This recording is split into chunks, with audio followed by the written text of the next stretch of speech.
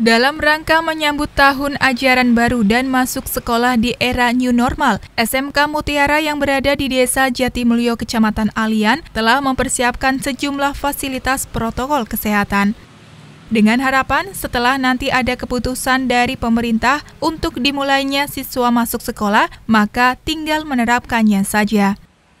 Kepala Sekolah Nur Hasanah Zahro Al-Hasani mengatakan sebagai upaya mengikuti aturan pemerintah dalam memutus mata rantai penyebaran virus corona di lingkungan sekolah, sejauh ini pihaknya telah mempersiapkan sejumlah fasilitas protokol kesehatan seperti menyediakan alat cuci tangan di setiap pintu masuk sekolah, membersihkan dan menata jarak bangku di ruang sekolah, alat pengukur suhu termometer, hand sanitizer, dan bagi siswa yang akan masuk sekolah juga nanti diwajibkan menggunakan masker.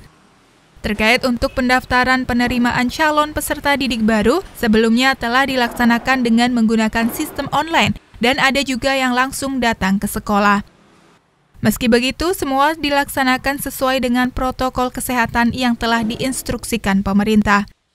Dengan akan diterapkannya tatanan hidup baru atau new normal ini, para siswa diminta nantinya ke depan dapat mematuhi protokol kesehatan agar terhindar dari virus COVID-19.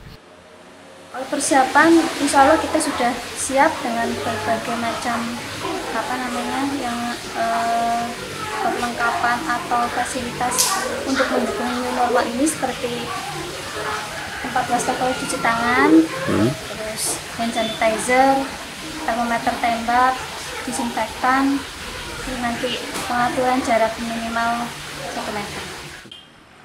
Dari Alian, Tim Liputan Ratih TV memberitakan.